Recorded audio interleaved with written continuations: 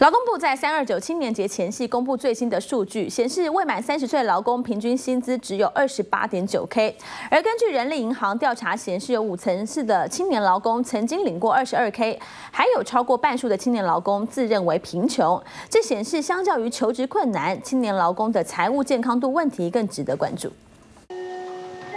台湾的清贫现象备受关注。人力银行业者二十六号发布调查报告，数据显示，青年劳工在收入、财务状况和工作环境上状况都不甚满意。三万八左右的实时经常性薪资，这样来换算，大概需要不吃不喝四十一年，才有办法存到一千九百多万的退休金。也就是说，可能对一个这个七八年级来讲，他可能除非是双薪家庭，不然他可能就是要工作到。呃，六十几岁以后才有办法跟人家谈说他要退休。而在工作志向和理想性方面，约有六成的受访者表示尚未找到职业方向，约有两成的受访者表示不喜欢也不满意现在的工作，但仍然有八成三的受访者表示，虽然还没圆梦，但仍会继续努力。意味着青年世代虽然没钱而且忧郁，但仍然为实现理想而努力着。会觉得自己的法律知识蛮廉价的。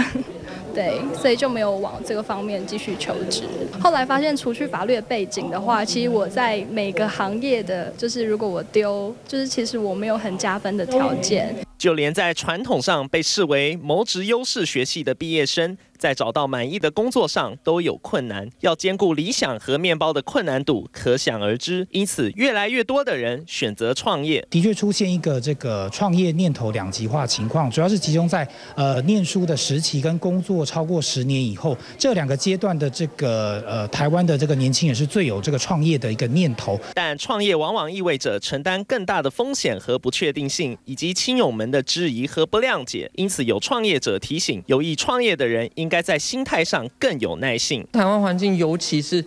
资金的断层是非常非常严重的。在台湾创业就这样子，因为这个这个现象它是刚起来没有很久，那成功的例子其实也不多，所以其实大家。当然就会担心居多，青年族群的求职难值得大家去关注，而他们的财务健康度以及从业理想性，更是关乎到国家未来的经济和社会发展。青年世代们如何学以致用，在工作上实现收入和个人成就的平衡，不止考验到个人所累积的学经历经验，也有赖于意志力的展现。UDN TV 叶嘉华、杨旭言台北报道。